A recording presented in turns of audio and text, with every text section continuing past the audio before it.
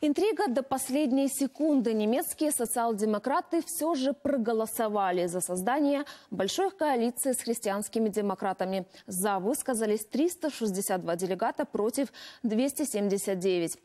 Причем голосовали дважды. Все подробности у Татьяны Лагуновой. Перед зданием, где проходит партийный съезд, акция протеста. Это последняя попытка противников большой коалиции убедить делегатов сказать «нет». Что нам дает эта большая коалиция? Мы просто как стремена для христианских демократов, чтобы они смогли взобраться на лошадь власти. Лучше уйти в оппозицию и там реализовывать свои идеи. Решения, впрочем, принимают не митингующие, а избранные члены партии, 600 делегатов от всех земель Германии и руководство политсилы. Этот внеочередной съезд социал-демократов был еще одним из самых важных и непредсказуемых в истории партии. Решалось политическое будущее страны. Есть ли шанс, что в Германии наконец появится новое правительство или все-таки придется проводить досрочные парламентские выборы? Ну а результат голосования был полностью открыт. Последнюю попытку убедить однопартийцев предпринял лидер партии Мартин Шульц. Призывал, объяснял и просил почти час.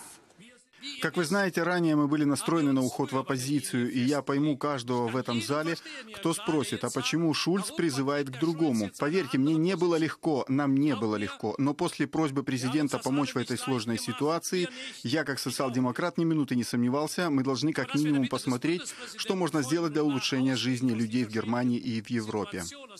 Шульцу делегаты аплодировали, но куда громче его главному оппоненту и противнику большой коалиции Кевину Кюнерту.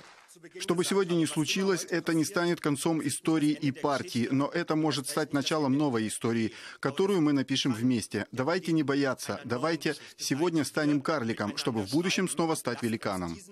Голосовали поднятием руки и дважды при первой попытке кого больше, сторонников или противников, визуально определить не получилось.